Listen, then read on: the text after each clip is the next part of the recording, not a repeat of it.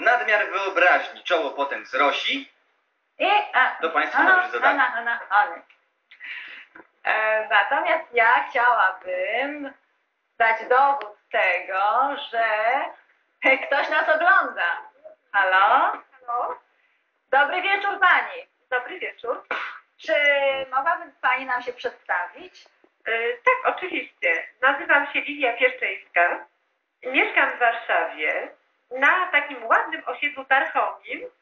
Pozdrawiamy wobec tego bardzo serdecznie Panią Lidię Starchomina. Dziękuję.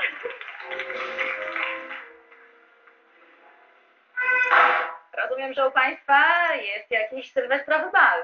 E, tak, taki malutki, ale jest. Czy jesteście razem z nami, z Sylwestrem Tak, dwójce?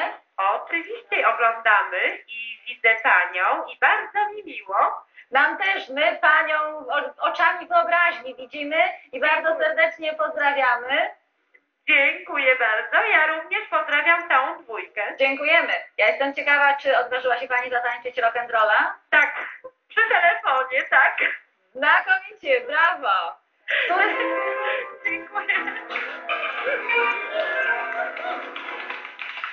Pani Lidia Starchomina pozdrawia wszystkich widzów dwójki, my pozdrawiamy Panią, czekamy na kolejne telefony. Dziękujemy Pani, wszystkiego dobrego w nowym roku i proszę być z nami o północy oczywiście. Dziękuję, wzajemnie. Dziękuję. Proszę Państwa, właśnie kiedy następuje taki moment, kiedy muzyka zamilkła, chwila ciszy, jeszcze tak nie wiadomo co zrobić, to wówczas przydałoby się błysnąć intelektem, oczywiście na temat tańca, zwracając się do partnera. Czy wiesz, gdzie są cielęce tańce?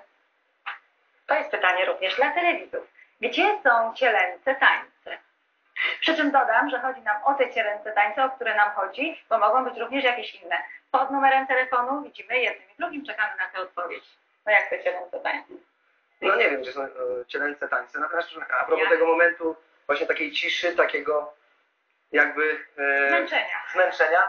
To jest taki taniec, który e, kiedyś, e, kiedyś wymyśliłem, którego teraz serio postaram się nauczyć wszystkich Państwa przed telewizorami i, i Państwa tu obecnych. Słuchajcie, stańcie w parach, mniej więcej, chodźcie tutaj na chwilę kilka osób, bo to jest naprawdę bardzo proste i zapraszam wszystkich Państwa do zabawy.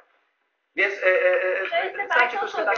Proszę bardzo, Pani Olga Stańcie, Stokowska. stańcie, stańcie, Pani stańcie, Danuta proszę. Józefowska. Parami stańcie. Stajemy.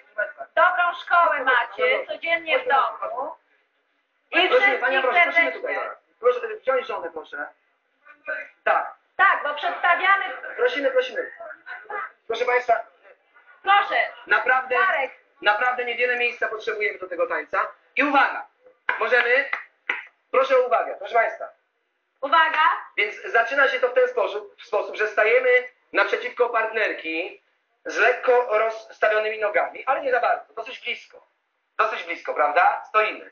Opuszczamy luźną ręce. I teraz proszę Państwa, jednocześnie uginamy nóżki. Proszę bardzo. I ho. I zobaczcie, do czego to doprowadziło, proszę Państwa. Do dosyć komfortowej pozycji, Jak dla kogo? prawda? Nie wymagającej specjalnego wysiłku. Ja sobie siedzę, e, prawda? A jest to jednocześnie pozycja e, taneczna.